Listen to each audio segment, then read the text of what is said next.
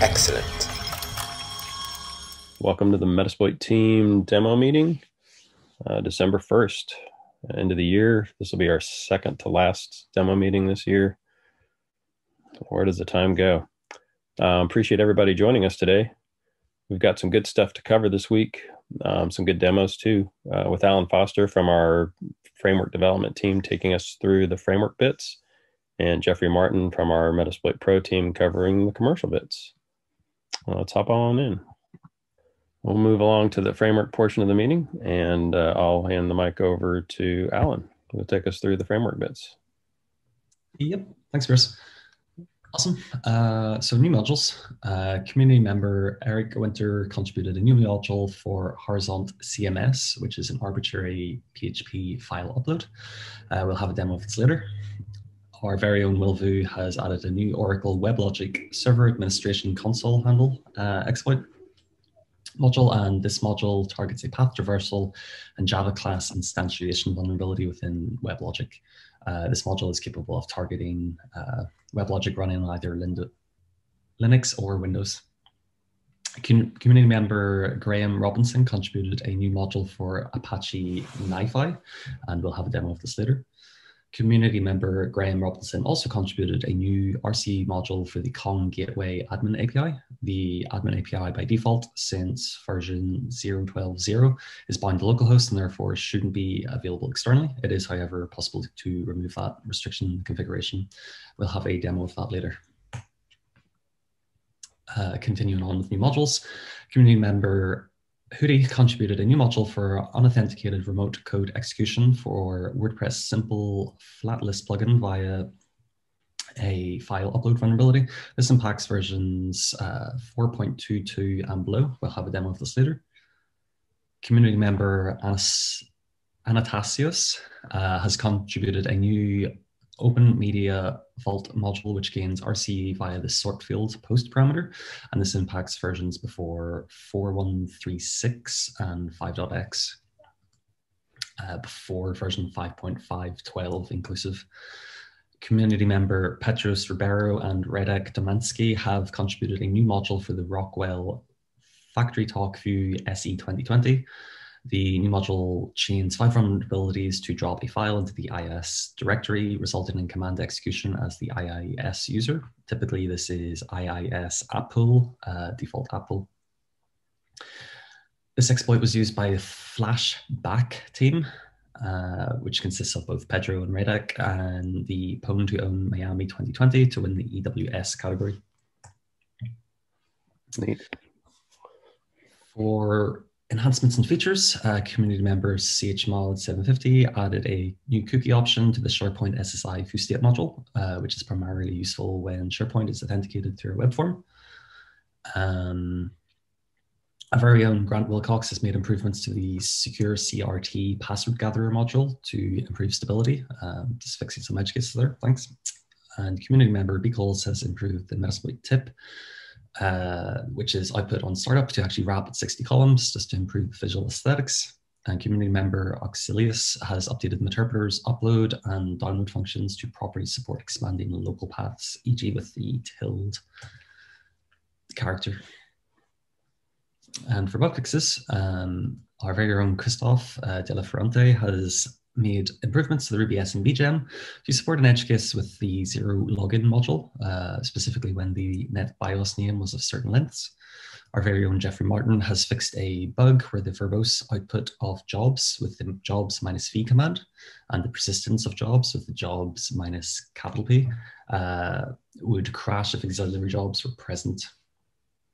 And our very own Christopher Gunleys fixes a crash when the rhost HTTP URL option was used in conjunction with the check command, and that is currently still behind a feature flag, uh, which can be enabled with the rhost HTTP URL um, feature set command.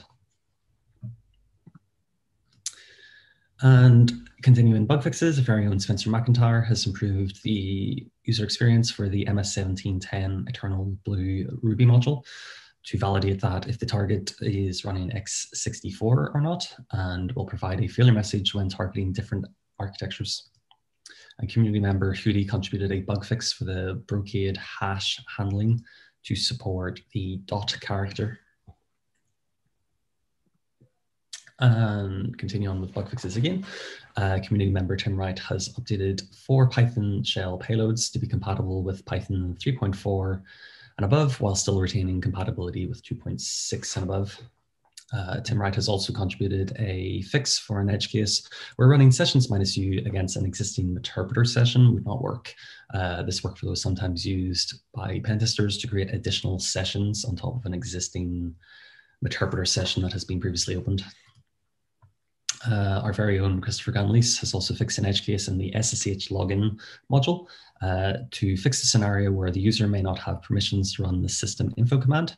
Um, and it now gracefully falls back to the ver command instead, which should be available to all users. And as always, um, thank you for your contributions, and I'll pass over to Pierce to talk about CTF. Thanks, Al. Um, yeah, so we've got the the latest installment of the Metasploit Community CTF is happening this coming weekend with gameplay starting on Friday at 9 a.m. U.S. Central Time you can head over to metasploitctf.com and register now, where you can join an existing team or create a new one uh, as slots are available, but they're they're filling up. Uh, for details on recent framework activity, you can check out the weekly Metasploit wrap up uh, blog post at blog.rapid7.com. And uh, definitely, as Alan said, thank you for everybody who helps with the Metasploit project to keep making it better. Appreciate that. Good. Thanks, Bruce. Um, so for our first demo is the WordPress simple file list RC, uh, courtesy of Spencer McIntyre. Uh, so it looks like Spencer isn't able to, to get on today, uh, but I can go ahead and talk over it. Cool. Go ahead, start it up. Yeah, sure. Thanks. All right. All right, so this is an exploit for a WordPress plugin called Simple File List. Uh, this exploit module was contributed uh, by Hoodie. Um, so versions prior to 4.2.3 are vulnerable. Basically what happens is the plugin allows you to upload a file only if the file's extension is within the plugin's allow list.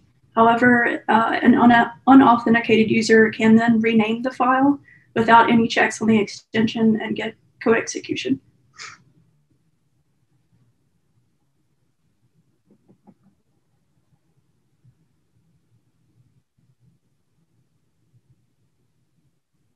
And again, that is as an unauthenticated attacker.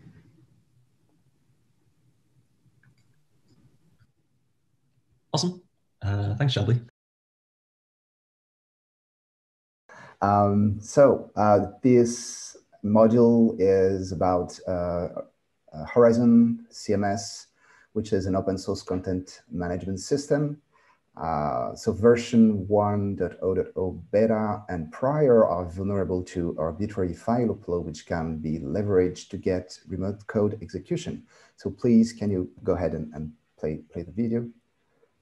So we're gonna go through the steps to actually uh, exploit this manually, just to show how easy it is. So we're gonna uh, authenticate with the admin user. We need some specific permissions to use the file manager. So we have a user with a bit of permission like admin. Here is the file manager. We're going to upload um, a file, which is a PHP backdoor, a very classic backdoor. Um, here we go. Gonna upload it. And as we can see, the application renamed the file, but we can rename, it back to the original name, which is very handy.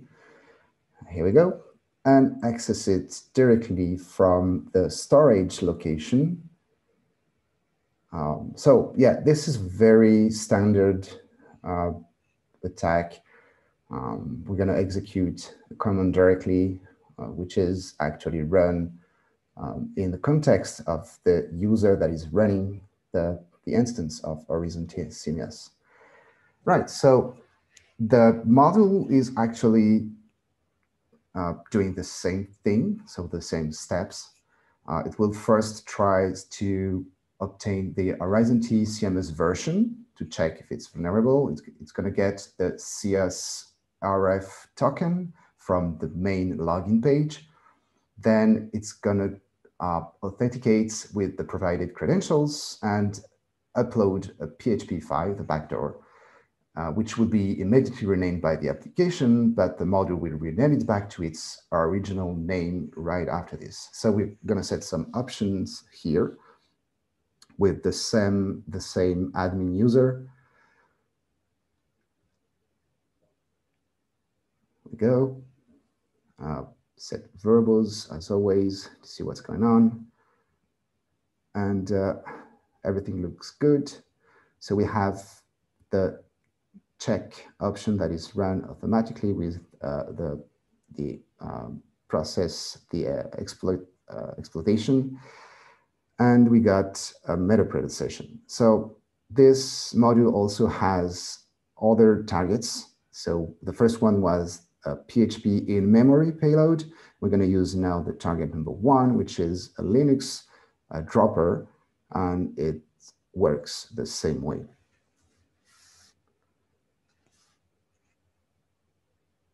Right, that's it. Nice. Awesome. And another demo from Christoph, I believe, hopefully this time. yeah. Hello again. Um, so Apache Nifi is a, a, software used to automate the flow of data between software uh, systems. Uh, when the Nifi API is not properly secured, uh, it is possible to abuse some dangerous processors and execute arbitrary commands in the context of the user running the Apache Nifi instance. So by default, the installation uh, runs over HTTP and does not require authentication. So it is possible to set up an uh, authentication using an external provider like uh, LDAP or Kerberos. It's not an easy step, but uh, you can do it. And once the authentication is set up, it is possible to restrict access of an authenticated user. So you have to follow all those steps to actually secure the application. Without that, you can uh, configure, can create, configure, and run commands using uh, some processor. The one the module is using is the execute process processor. So please, can you uh, the, the video? Thank you. Right, so here's we uh, here we have two instances. The first one is uh, running on Windows without authentication. So it's HTTP, and uh, we're gonna exploit it using the, the same module without any other options than the remote host, local host, and uh, yep, that's it. So we're going to set the options now. So this is the default configuration. When you install it, there is no authentication.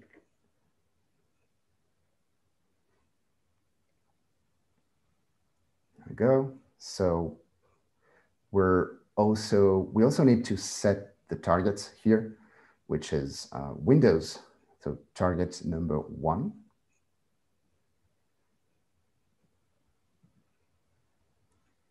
Here we go. Oh, we're good to go. So we're going to run the check and then run the exploits. Here we go. So it creates a processor and execute a PowerShell command. Right. So we have a session here. It works great. So now we're going to see what's going to happen on another instance I have installed here, which is on the Linux system and with authentications here. Here is the, the user I'm authenticated with. Uh, I created other users with some uh, access policies to restricted components like the processor we're going to create and uh, so we need to set up a bit more options here. So first, the target zero, which is Linux. Uh, remote host is different. It's another instance. The remote port is different as well because it's running on uh, over SSL. So we have to set SSL as well. And uh, the user credentials. There we go. And I think we're good to go. Right.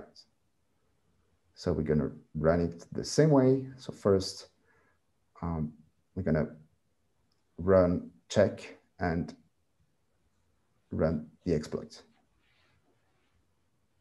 So same, same logic, it's gonna create the processor, run it with a command and uh, clean everything. There we go. Awesome. Uh, thank you, Christoph. And we have a demo for the Kong Gateway Admin API RC module by Chris. Yeah, so this module was uh, developed by a community member, Graham Robinson.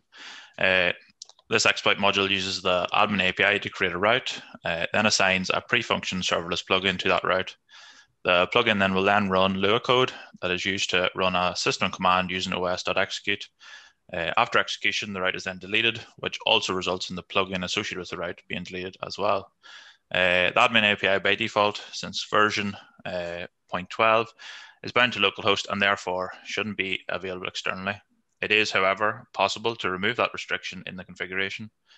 Uh, the documentation states Kong API's routing design allows uh, it to serve as a proxy for the admin itself. In this manner, Kong itself can be used to provide uh, fine-grained access control to the admin API. So yeah, just before we play the video, um, this this module's README was extremely good uh, and very helpful when doing testing. So I just want to say thank you to Green Robbins. That uh, was very helpful and very easy for whenever actually trying to get this stuff set up for testing. Uh, just another note, um, before we play the video, I have a lot of stuff set up in the background here because the Docker commands are quite foodery to copy across. Uh, I think just because of the uh, VM here. So I'm going to have that actually up and running uh, just so that part of the demo, you don't think that's missing. So if you go ahead there on. Yeah, so here we have uh, our VM options and everything set up. Uh, we have our R host and L host that are required. Uh, here I'm just demonstrating that we have the Docker environment set up and we have curled it out uh, just to make sure we've got our 200 status. Um, yeah, so we're just going to go ahead and run the module here. Uh, one thing to note here, whenever we were testing the module, we were having some issues with a, a race condition. Uh, we have implemented that second line there. You can see it. The route is not yet available. Trying again. This will actually give three attempts while sleeping it. Uh, we were having an issue where the route was being requested before it had actually been fully created. Uh, so that will actually try three times before killing the session. So just as we note there, uh, yeah, and that will just get you in, uh, and then you'll uh, be able to execute and work away on the target system then. So yeah, that's it. Awesome. Thank you, Chris. And uh, we'll segue uh, from framework content to Attacker KB. Uh, thank you, Alan, uh, for taking us through the framework content and uh, everybody for the demos. Those are great. We always appreciate that. Let's talk about Attacker KB, the attacker knowledge base, where you can learn about and discuss which bones matter and why. All you have to do is visit attackerkb.com. It's that easy. We've got a couple of demos today of uh, items the team's been working on. Uh, we'll start with uh, Jorge. He's going to show us exploited in the wild events. You could just press play there, Pierce. So, good morning, everybody. Uh, so today I'll be showing you uh, what we've added recently to Attacker KB. We believe that reports of a vulnerability being exploited in the wild warrants an appearance on the activity feed for anyone to see. Um, so now, once uh, a topic is reported as exploited in the wild, they will now appear uh, within the activity feed. So as you can see here, uh, it appears just as uh, any other sort of uh, event. And uh, should a report be deleted by an admin, the event will also disappear from the activity feed. Um, that way, just in case there's any accidents or anything, uh, people won't need to worry about leftover content. Nice. That looks uh looks really handy. Uh, any any questions for Jorge?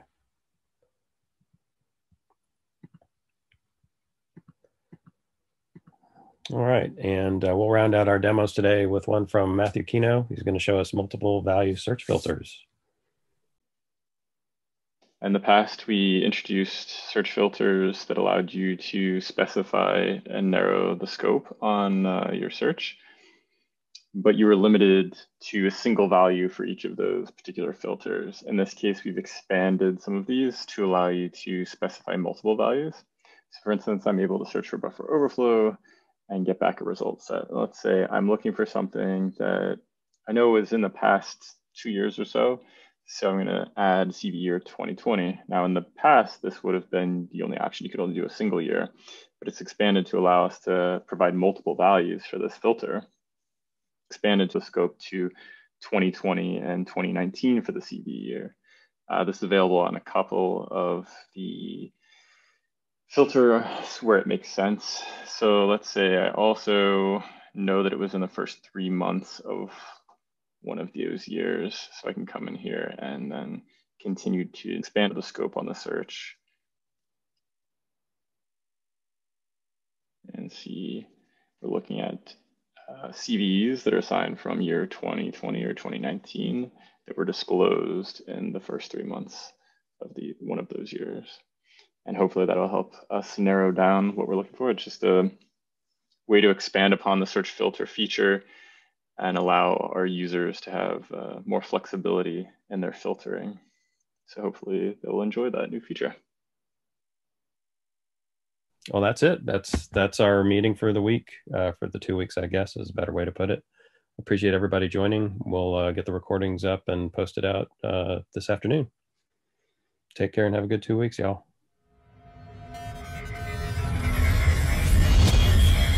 Excellent.